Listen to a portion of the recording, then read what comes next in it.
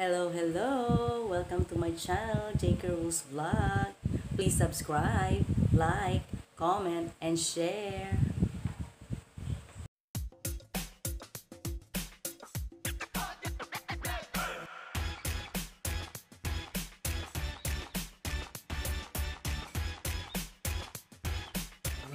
Okay guys, ito na po yung sasing natin.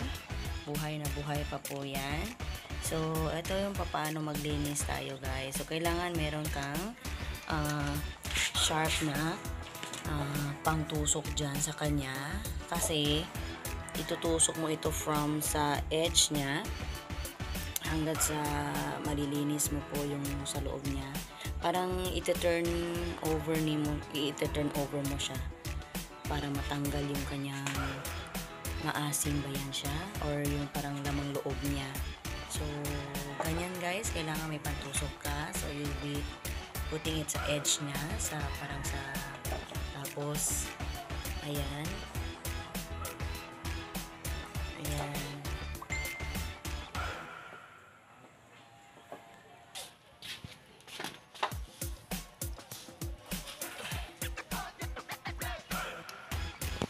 So, ganyan yung ginagawa, guys. So, parang binabaligtad mo kasi siya. Kasi meron din siyang lamang loob, no? So, tatanggalin natin. So, ito yung paano linilinis yung sasing. Okay? Ganyan po. Kailangan may stick ka. Itutusok mo sa end niya.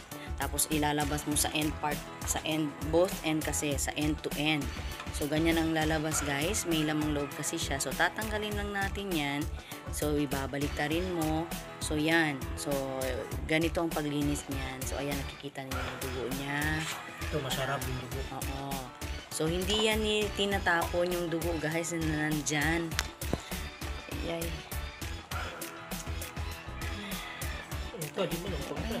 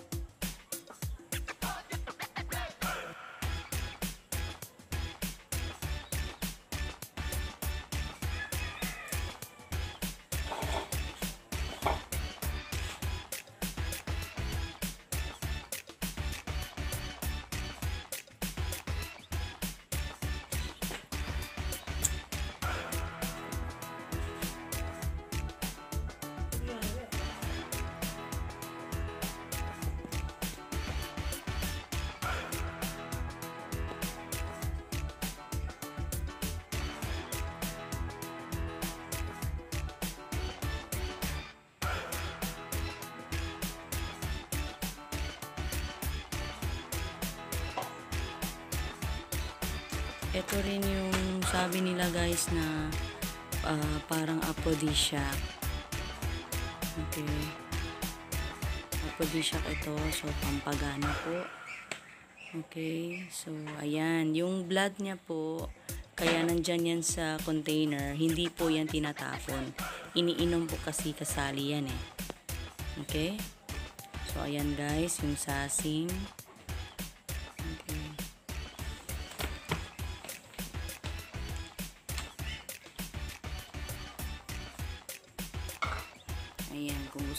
Gusto niyo ng sample, ayan po yung husband ko.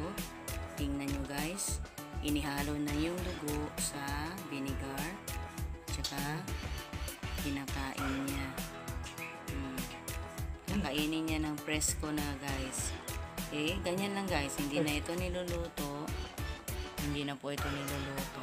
So, ayan. Ayan, pinakain na po niya. So, ganyan talaga guys. Fresh.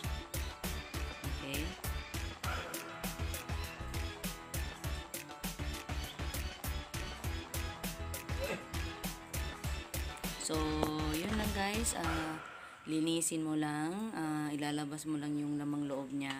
Isasave mo yung dugo niya. Tapos, i, i- ano mo lang sa vinegar. Ayan. So, pang ano talaga ito guys. Sa mga nandyan sa may daan po, sa may mga karinderya, ito po talaga yung pulutan na ah, inihahanda basta malapit ka lang din sa dagat. Mostly sa mga ano din, sa mga magsasaka, pag may time na silang magpapahinga, may sasing dyan, doon, yun na lang talagang kinakain nila. Dire-diretso. okay, so, pangpalakas ng resistensya po ito. Kaya yung mga, ah, sabi nila palahubog, ano ba yan?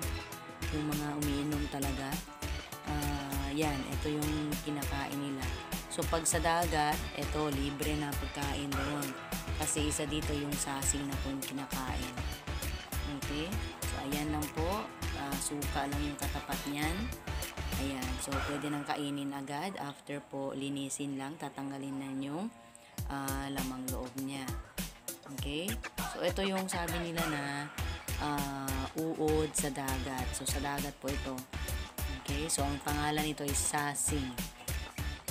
Okay? Sabi nila, good for the heart. Kasi daw yung ah, pampaano ito, pampa-alive. Okay? Marami naman kumakain ng ganito. So, available ito sa dagat. And, mura lang po ito pag binibili po natin sa merkado. Sa palengke po. Okay? So, ganyan lang po. Kailangan may mahabang ma- matulis lang kayo na kahoy niyan. Alright? At saka ready na po yan. Okay.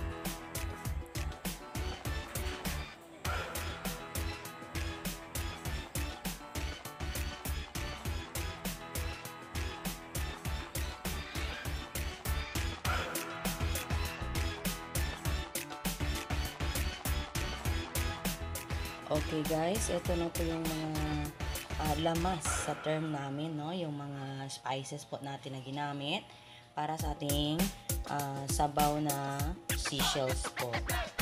Okay? So, meron tayong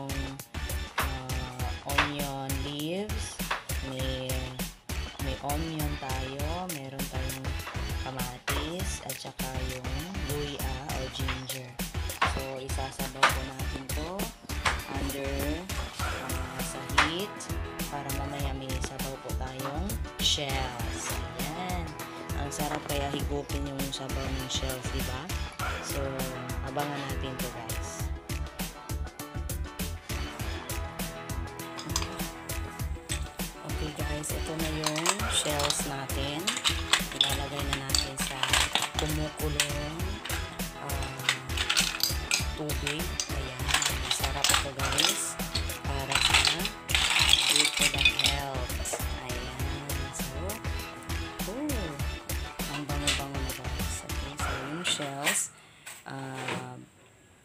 Parang, ano ito pa? Tinola?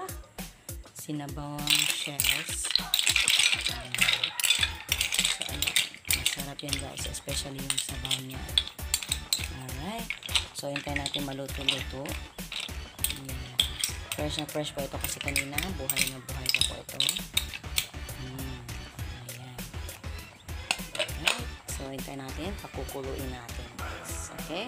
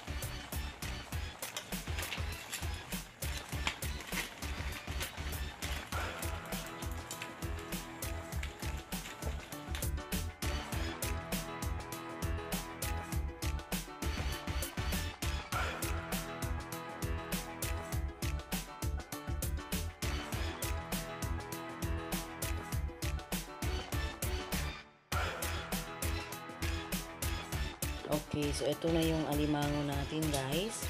So, ayan. So, nag, ano na, kumukulo na at saka red na red na po siya. So, abangan natin mamaya yung paghalo-halo ng mga ingredients kung ano ang gagawin dito. I believe meron tayong ah, gata. Wow, para sa lambay natin. Alright? So, antayin natin guys. Ayan, red na red na po yung lambay. Okay, red na red. Okay guys, ito ah, naluto na po siya na i-boil na natin. Tapos ah, atin ang na ano na i-half into two. Yung isa kasi malalaki. So ito yung ating ah, gata po. Okay, fresh gata ng niyog po. Ayan.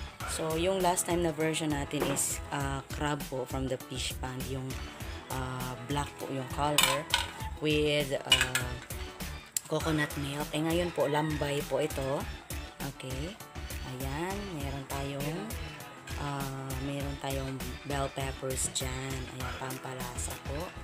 Ayan yung mga ah, spices natin. Okay, simple lang po. Again, affordable at kaya ng budget lang. So, ayan. So, ayan po. Meron ng lumalabas na crab meat.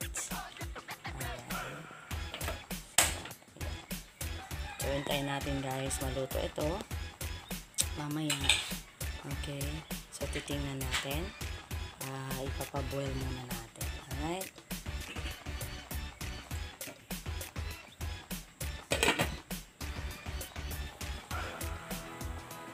Ayan guys, kumukulo na. So, pag mali, konti na lang talaga yung sabaw nito, ready na.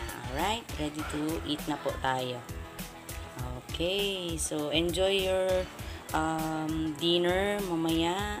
I hope nag-enjoy kayo guys sa panonood ng ah, cooking show ni J.K. Rules Vlog. Okay?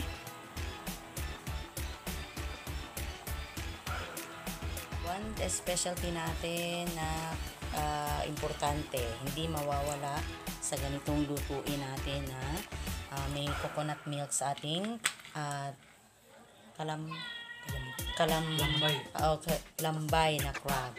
Okay, so pwedeng ganun po yung ilalagay natin yung konting ah, ano po, soda. Ayan. So luto na po ito guys.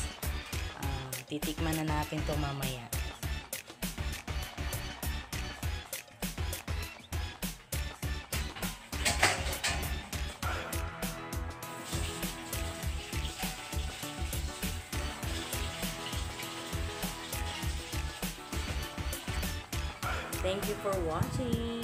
Bless.